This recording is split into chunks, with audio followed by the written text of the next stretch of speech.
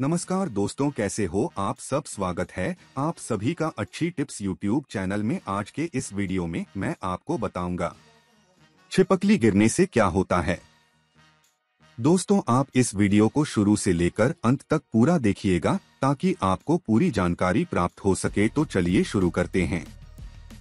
छिपकली की बनावट ऐसी होती है कि लोग उसे देखकर डर जाते हैं। छिपकली ज़मीन पर, दीवारों पर, दरवाजे और खिड़कियों पर कहीं भी रेंगती हुई दिखाई दे सकती है। कभी कभी अचानक छिपकली शरीर पर गिर जाती है और लोग डर जाते हैं। हम आपको बता दें, छिपकली का शरीर के कुछ हिस्सों पर गिरना शुभ और अशुभ माना जाता है। शास्त्रों में प्रचलित शकुन शास्त्र में छिपकली के कई अंगों पर गिरने के संकेतों के बारे में विस्तार से बताया गया है। चलिए हम आपको बताते हैं कि छिपकली के शरीर पर गिरने से किस तरह के शुभ और अशुभ संकेत होते हैं। शुभ संकेत। नौकरी में मिलता है प्रमोशन। अगर आप कहीं बाहर जा रहे हैं और आपको छिपकली की पूर्व, उत्तर दिशाओं में आवाज़ सुनाई दे तो आपके लिए यह शुभ संकेत है। माना जाता है कि आपको धन की प्राप्ति होती है और नौकरी पेशा लोगों को प्रमोशन का अवसर प्राप्त होता है। धन दौलता बढ़ता है। नाक पर अगर छिपकली गिरे तो इसे भाग्योदय का संकेत माना जाता है। पुरुष के कान पर छिपकली का गिरना शुभ होता है। पुरुष के दाएँ कान पर छिपकली का गिरना आभूषण प्राप्ति का संकेत देता है। वहीं बाएँ कान पर छिपकली का गिरना आयु में वृद्धि का संकेत होता है। पेट पर छिपकली के गिरने का संकेत होता है कि आपको किसी आभूषण की प्राप्ति हो सकती है। मान सम्मान बढ़ता है। ज्योतिष के अनुसार, गर्दन पर भी छिपकली गिरने के कई अर्थ होते हैं। गर्दन पर छिपकली गिरना इस बात का संकेत देता है कि आपको यश व वैभव की प्राप्ति होने वाली है, साथ ही आपका समाज में मान सम्मान बढ़ता है। वहीं दाहिने हाथ पर छिपकली गिरना भी शुभ संकेत माना जाता है।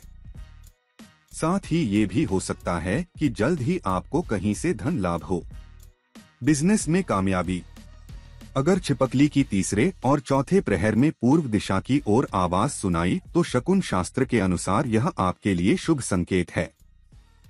माना जाता है कि इससे धन की प्राप्ति होती है और व्यापारी के बिज़नेस में फ़ायदा होने लगता है।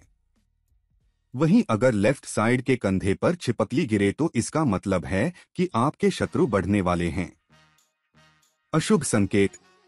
पैसे और बिज़नेस में नुकसान।